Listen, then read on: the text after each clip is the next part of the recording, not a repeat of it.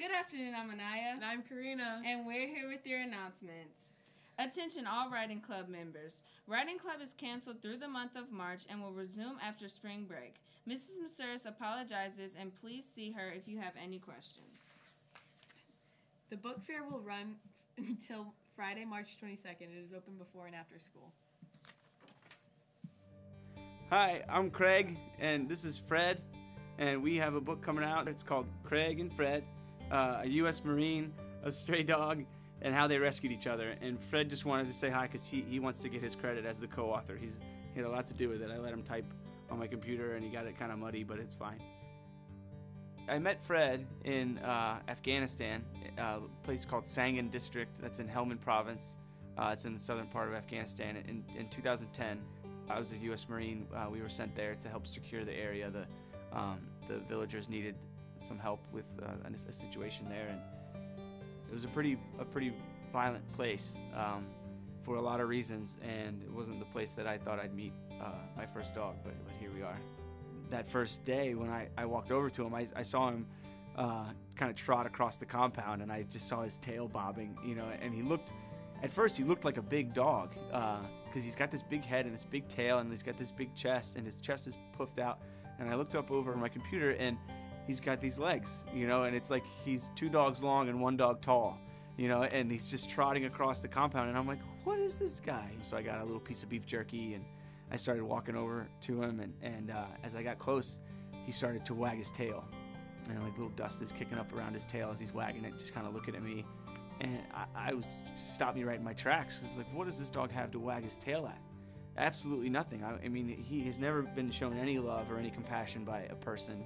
He's covered in bugs. He's hot and hungry, you know, but he's wagging his tail at me, you know, and he doesn't know me at all, you know. And, and that moment, uh, you know, really kind of describes and kind of summarizes Fred's philosophy and Fred's message to me and, and to, to everyone else is like, you know, no matter how, how miserable you might be or how hard things might be, it's you can always wag your tail, you know, and you can always, you know, um, fly that flag of, of, of being stubbornly positive and, and I mean, and it can change your world for the better. I mean, rescuing him ultimately wasn't wasn't that challenging. It was just the right thing to do. Um, but you know, the the the things that he showed me and the lessons that he's taught me and how he's rescued me is uh, is still ongoing. It's st- I'm still learning from him every day, um, and it's kind of an immeasurable impact on on my life.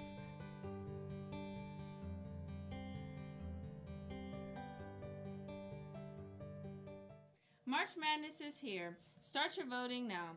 Please turn your brackets in by March 20th.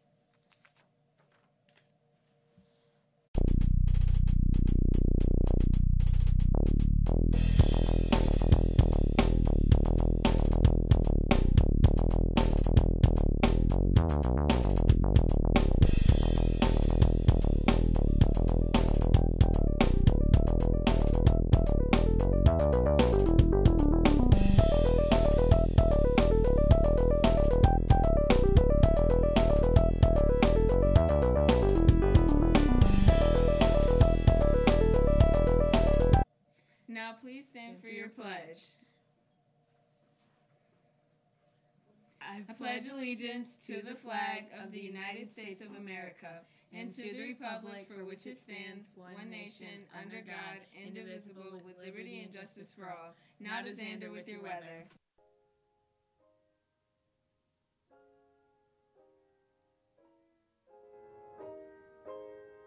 We want some heroes in our story. We need highlights for a nightlight. We need glory for a while. We want results. We want results.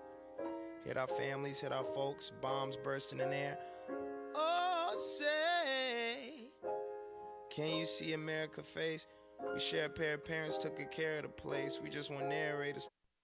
What is up, my epic meme lords? It's weather time. Today will be cold with a high of a mere 43 and a low of an even more mere 27 and mostly cloudy.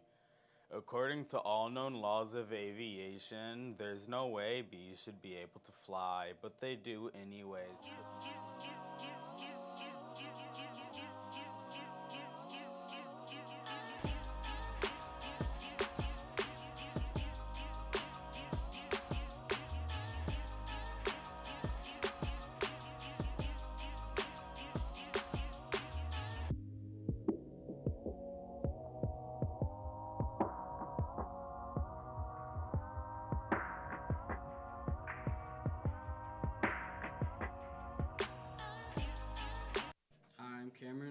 James, and, we're, here with your sports. Michigan State won against Michigan to be the Big Ten champions. The, the Detroit Pistons won against the Raptors yesterday, 110 to 107. Last Thursday, the seventh grade volleyball team won all three games in their match against Oak Park. Top servers were Olivia Villa, Kate Gooch, Charlotte Graves, Riley Deneher, Cecilia Irwin, Emmy Walden, and Agatha Valka. The team plays against Hazel Park today. The eighth grade volleyball team got back on on the winning ways, beating Oak Park three games to one. The scores of the games were 21 to 8, 21, 21 13, and 21 7. Leading the way were both Ella Cazzetta and Jade Skapiak with eight points each. Scarlett Every also had a good serving day with four points. Our next game is at Hazel Park today.